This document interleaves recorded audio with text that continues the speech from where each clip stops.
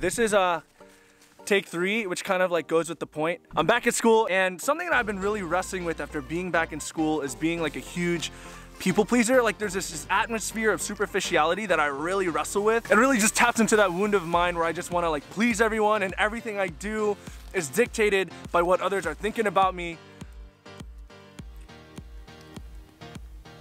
And this is getting very uncomfortable. What time is it right now? 8.25 in the morning. Oh, Going that's right, because we're on a hike. We left here around like 6.30 this morning. We drove to Charlottesville, Virginia, 50 something degrees, which is colder than I'm used to anymore. It's a brisk hike, it's a brisk walk, but But you're out of breath. so. okay, I'm out of shape. They don't need to remind, oh shoot. So, and never try to outrun a bear because it can't run you. Uh, duh. Dude, have you heard of bear spray? Yes, uh-huh. but they recommend that you spray it directly into the bear's eyes, which is Which means you have to get close enough. Like, can we juke the bear? Break its ankles.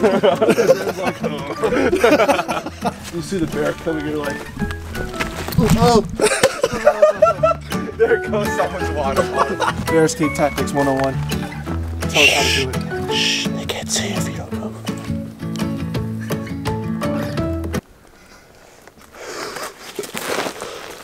Oh, I'm stuck. Ben earlier was talking about confidence and what that has to do with being a people pleaser. You see, people talk about confidence like it's this thing that we don't have. You hear a guy who says, oh man, I don't have confidence, I need to find my confidence. It's not a thing, it's a state of mind. Oh, It's this idea of accepting that you are the way you are. Humility, it's because God created you a certain way. There's gonna be people in life that don't like you. There's gonna be people in life that don't accept you, that think a certain way about you. Confidence is just accepting. I think there's a lot of people in the world who have a lot of difficulty like accepting who they are because the world offers them standards that are just like completely unrealistic. Like I think we worry so much about what other people are thinking because we have the standard in our heads about what it what it means to be accepted or what it means to be good or what it means to be loved or wanted or desired. You can't control what other people are going to think about you. And you can't control what they're going to say or even how they look at you It's a prison. The thing about prisons is that the longer you're in there, the more it becomes your reality. And what does that mean? You lose sight of who you are. Yeah, yeah, you really do. You just kind of mold yourself to what everyone else is thinking. Yeah, that's like- actually really like true. Yeah, Where's the real version? exactly. Yeah. Hey, so um, yeah, I sprained my ankle. Ben's carrying me for a little bit. This isn't a joke. He actually said I should carry you, and I was like, I can't run away from you, so I mean, it might as well. So quick update. Uh, my ankle's doing better. And watch as I'm like recording this, I trip again and I was like, oh. Being tall and clumsy is such a poor combination. You know what I mean? It's funny for all of us. Oh, hi.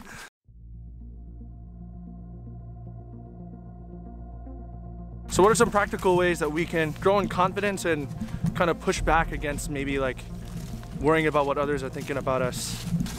Get to know yourself. Accepting who you are. Yes, know yourself. The way to do that is spend some time by yourself. Oh, How do you get to know a person when you meet them? You spend time with them. So it could be hiking in the woods, going to a coffee shop or a bookstore, reading a book.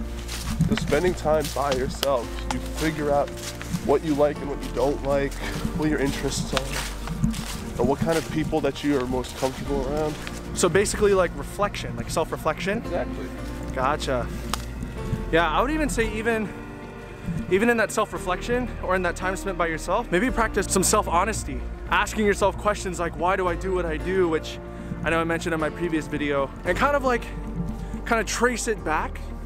Like once we realize what we're looking for, we can start to pursue like our goal where it actually is located. Not in the world, but in love, which is what we're meant for. Oh, oh, also, I would also say like hang out with people who are going to like be honest with you, who see you for who you are, and who aren't afraid to tell you the truth. What are some ways in my life where I put on masks? Or areas of my life where I'm not as authentic as I should be? So maybe those are some starting points for you guys to start realizing who you are and who you've created to be. That you're not what anyone says about you. In a lot of ways, you're often not what you say about you.